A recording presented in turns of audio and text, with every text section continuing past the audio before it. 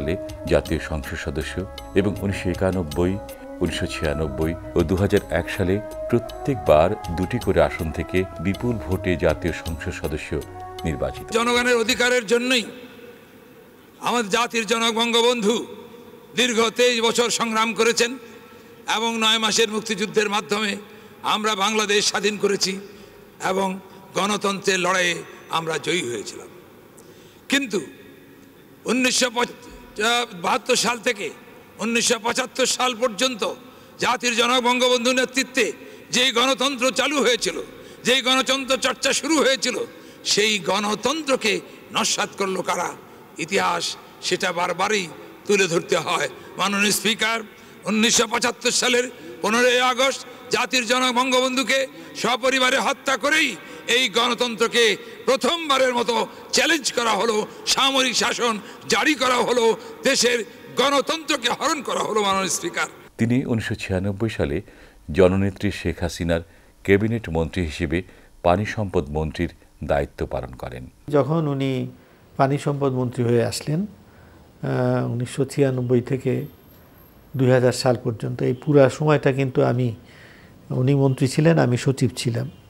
এবং আমি লক্ষ্য করেছি যে যখনই সরকারের কোনো অর্থ ব্যয়ের প্রয়োজন হতো কিংবা কোনো উন্নয়ন প্রকল্প গ্রহণের প্রয়োজন হতো ওনার সবসময়ই একটা চিন্তা থাকতো যে এই অর্থটা দিয়ে কীভাবে বেশি সংখ্যক জনগণের বেশি রকমের উপকার করা যায়। এবং সফলতার সঙ্গে ভারতের সাথে ঐতিহাসিক পানি বন্টন চুক্তি সম্পাদনে বিশেষ ভূমিকা পালন করেন। শেখ হাসিনার প্রথম মন্ত্রিসভায়, ছিয়ানব্বই দুই হাজার এক সনে, অত্যন্ত বিশ্বস্ততার সঙ্গে, দক্ষতার সঙ্গে একটি বড় মন্ত্রণালয়ের দায়িত্ব পালন করেছেন। আমরা সবাই জানি পানি সম্পদ এবং সেই সময় যে চুক্তি হয়েছিল সেটাতে অন্যান্য জিনিস ছাড়াও, অনেক বেশি পানি পাওয়া যাওয়া ছাড়াও ওইখানে প্রথমবারের মতো স্বীকৃত হয় যে ওই নদীতে বাংলাদেশের ন্যায্য পাওনা আছে, হিস্সা আছে।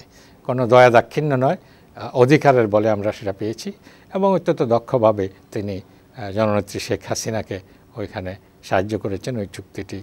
আধুনিক শরীয়তপুরের রূপকার হিসেবে অসাধারণ ভূমিকা পালন করেন আব্দুল রাজ্জাক।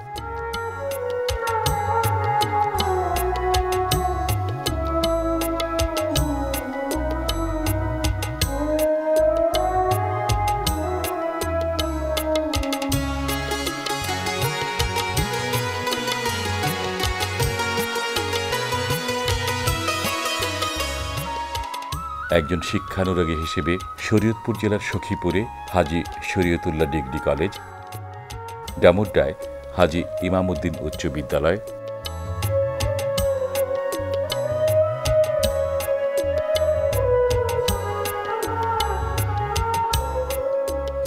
গোসাইরহাটের কোদালপুরে আব্দুর রাজ্জাক বালিকা উচ্চ বিদ্যালয়, জাজিরায় আব্দুর রাজ্জাক উচ্চ বিদ্যালয়, বুড়িরহাটে আব্দুর রাজ্জাক কলেজ প্রতিষ্ঠা করেন। এবং গোসেরহাটে বঙ্গমাতা বেগম ফজিলাতুন্নেসা দাখিল মাদ্রাসা প্রতিষ্ঠায় সহযোগিতা করেন। তিনি তিন তিনবার বাংলাদেশ আওয়ামী লীগের সভাপতি মণ্ডলী সদস্য ও বিশ্ব শান্তি পরিষদের সহসভাপতি নির্বাচিত হন এবং শান্তি আন্দোলনের একজন সক্রিয় নেতা হিসেবে বিশ্বের বিভিন্ন দেশে অনুষ্ঠিত শান্তি সম্মেলনে যোগদান করেন। তিনি ঢাকা হাইকোর্ট ও সুপ্রিম কোর্ট বারের একজন সম্মানিত সদস্য। জনাব আব্দুর রাজ্জাক রাজনীতি ও মুক্তিযুদ্ধের ক্ষেত্রে অনন্য অবদানের জন্য নেতাজি সুভাষ বোস ও দেশবন্ধু চিত্তরঞ্জন দাস আন্তর্জাতিক পুরস্কার পদক এবং শেরে বাংলা জাতীয় পদক লাভ করেন। কর্মীরা তাকে অত্যন্ত আপন করে সবসময় পেয়েছে। আমি বলব যে কর্মী কেমন নয় সাধারণ মানুষের কাছে রাজ্জাক অত্যন্ত গ্রহণীয় ব্যক্তিত্ব ছিলেন এবং আমি আমার ব্যক্তি জীবনে, রাজনৈতিক জীবনে কেমন সহপাঠী হিসেবে নয়, সহকর্মী হিসেবে নয়, যদিও গত বছর আমাদের অনেক ফারাক ছিল। কিন্তু তারপরও রাজ্জাকের কতগুলো বৈশিষ্ট্যে আকৃষ্ট হয়েছি। যেমন একটি হচ্ছে তার অসম্পদে গণতান্ত্রিক চেতনা। তিনি সবসময় এই ব্যাপারে অত দৃঢ় ছিলেন। আরেকটা ছিল বঙ্গবন্ধুর প্রতি আনুগত্য। তৃতীয় ছিল মুক্তিযুদ্ধের প্রতি আনুগত্য। যে কারণে আমরা দেখি শহীদ জনে জাহানুমের নেতৃত্বে যখন ঘাতক দালাল বিরোধী আন্দোলন গড়ে ওঠে, রাজ্জাক তখন সামনের কাতারে দাঁড়িয়ে সেখানেও নেতৃত্ব প্রদান করেছেন।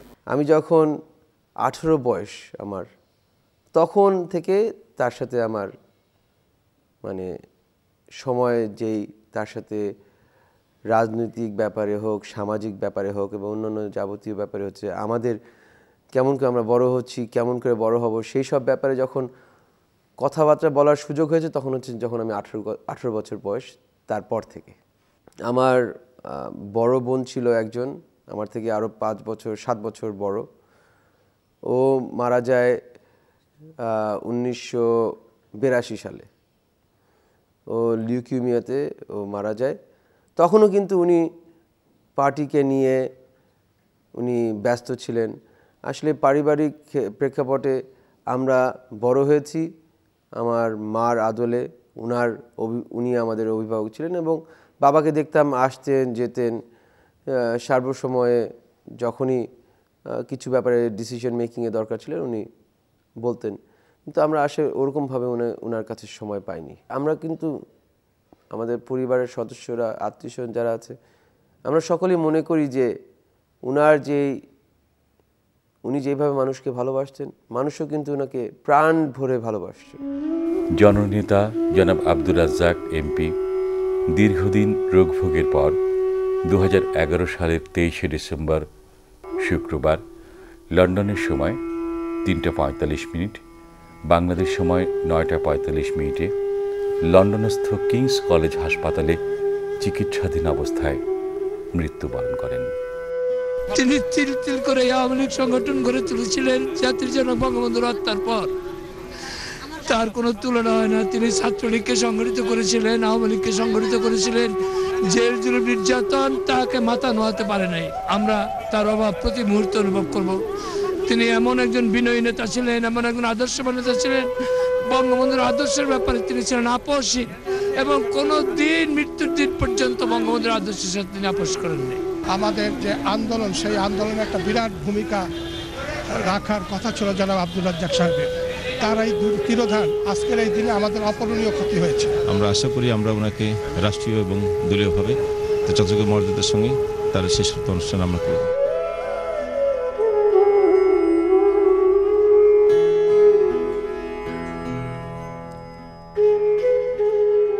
তাকে সংসদ প্লাজা জাতীয় ঈদগাহ ময়দান ডামুড্ডা উপজেলা মাঠ ও বনানী কবরস্থানে কয়েকবার জানাজা শেষে রাষ্ট্রীয় মর্যাদায় বনানী কবরস্থানে দাফন করা হয়।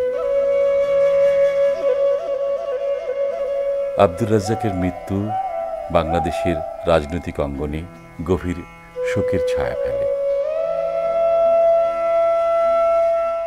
এক উজ্জ্বল নক্ষত্রের পতন ঘটে সেদিন।